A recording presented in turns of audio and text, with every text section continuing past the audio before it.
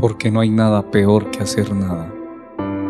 Encuentro de preadolescentes, 19 y 20 de junio, 9 a 13 años.